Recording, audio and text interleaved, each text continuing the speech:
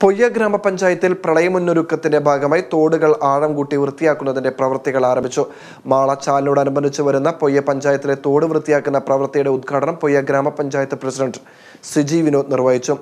Ward member Hency Shaju vice president Sibi Francis A S Vijeesh Anju Krishnan എന്നിവർ പങ്കെടുത്തു.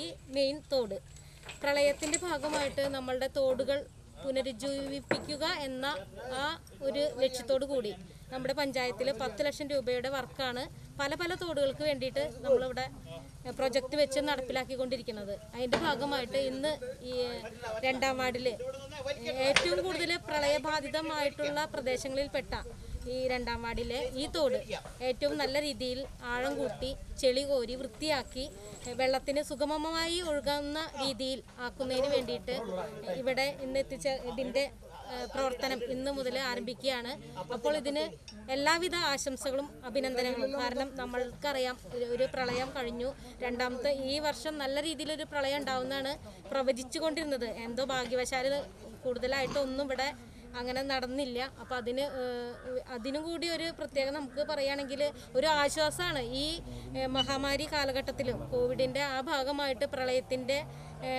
കൂടി വന്നു ചേർന്നാൽ വളരെ ഏറെ കഷ്ടപ്പെടും നമ്മുടെ പഞ്ചായത്ത്. നമ്മുടെ മാത്രമല്ല മൊത്തം കേരള അല്ലെങ്കിൽ നമ്മളുടെ ലോകം മൊത്തം ഇങ്ങനെയുള്ള ഒരു പ്രശ്നം ഉണ്ട്. അപ്പോൾ അതിന്റെ ഭാഗമായിട്ട് Kiwi interiors A V M complex opposite Saint Mary's church Kombodinjamakkal. Phone 9846 515112 9447